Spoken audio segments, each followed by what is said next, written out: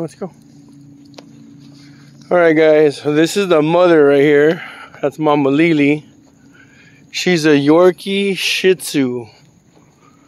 So I think, what is it? Uh, her mom was a Yorkie and her dad was a Shih Tzu. Full bred. They're both full bred, but different breeds, you know?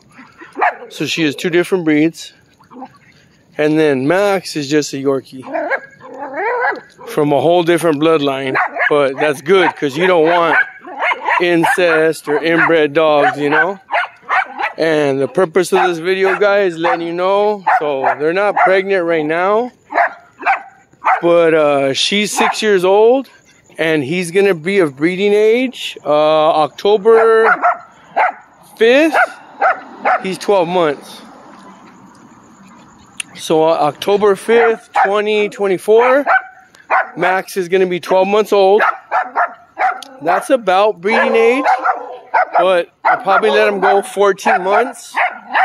So once he's 14 months, she'll probably be pregnant, and the pregnancy goes about 60 days.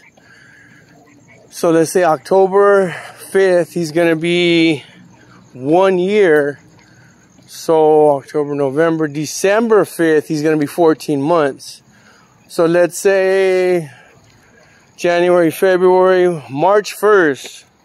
Gonna have puppies available for sale. If you guys are interested, contact me. Area code 626-726-5727. Thank you so very much. And uh, as soon as the puppies are born, I can text you guys pictures and let you guys know what they look like, what size they are, the, what is it, male or female, the gender. And then we'll go from there. So, I'm gone.